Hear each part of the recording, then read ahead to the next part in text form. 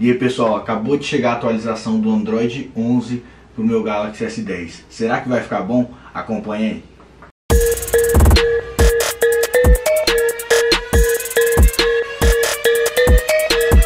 E pessoal, olha aqui. Acabou de chegar para mim hoje, né? Atualização para o Android 11, até que enfim, por S10 Plus, né?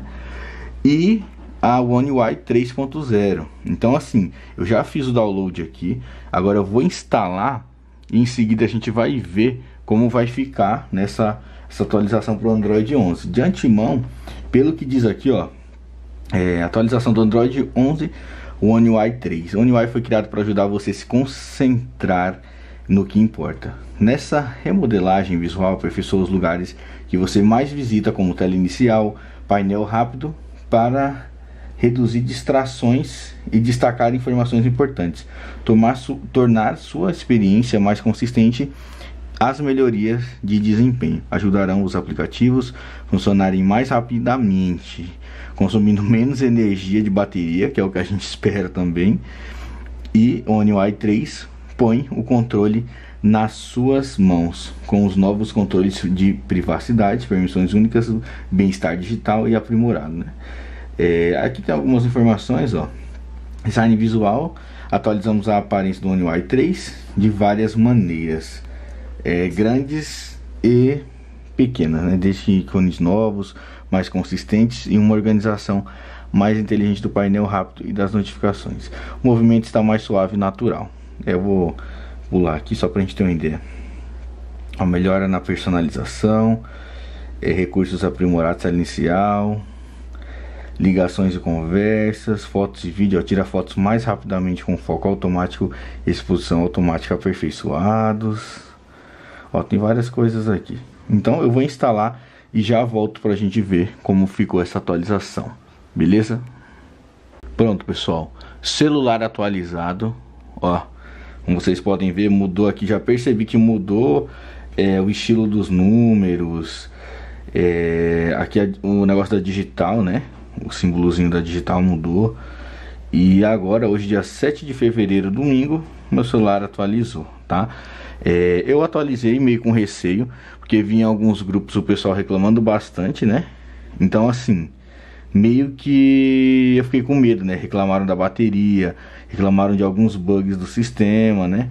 Então assim, já estou com o celular aqui ó, em funcionamento e a primeira coisa que a gente vai perceber é que, ó, a barra de notificações ficou transparente, né? Ela ficou transparente. Olha que diferente, né? Ó. Transparente. Agora tem aqui ó, aparelhos, mídia, que essa aqui é a minha primeira impressão, tá? Então eu vou trazer um vídeo mais detalhado do Android 11 no Galaxy S10 Plus depois, né? Mas aqui é só para vocês verem mesmo como ficou. Quando eu instalei, eu dei uma fuçadinha e reiniciei ele, tá? Porque toda vez que eu atualizo um celular, eu costumo desligar ele um pouquinho para ele esfriar, porque a atualização deixa o celular muito quente. E isso meio que interfere para a gente saber se é bug, né? Realmente do sistema ou de fato se é porque ele está quente. Então eu desliguei ele um pouquinho, uns dois minutinhos, né? Não, não chegou a esfriar, mas ele já melhorou um pouco, porque quando eu instalei ele tava bem lento aqui. Ele tava bem lento mesmo. Então, eu já senti que ele deu uma melhorada, né? Ó, senti que ele deu uma melhorada, tá fluido. Quando eu instalei, ele não tava assim, eu fiquei até preocupado. Ele tava meio lento, assim, até para descer essa barra aqui, ele tava lento. Ó, voltamos aqui pro menu. É, vou aqui, né, ó. Transparente, ficou até que bonito, ficou agradável, ó.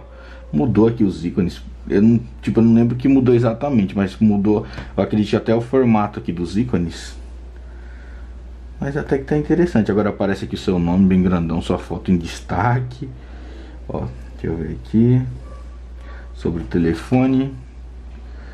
Informações de software. Aí, versão UI 3.0, Android 11.